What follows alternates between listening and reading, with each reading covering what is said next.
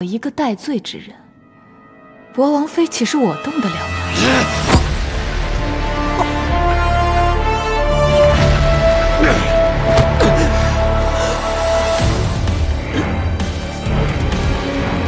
马占星，他见过博王的这一面吗？如果他见过，应该就不会觉得你是那个什么狼崽了吧？你跟他说了什么？你希望我跟他说什么？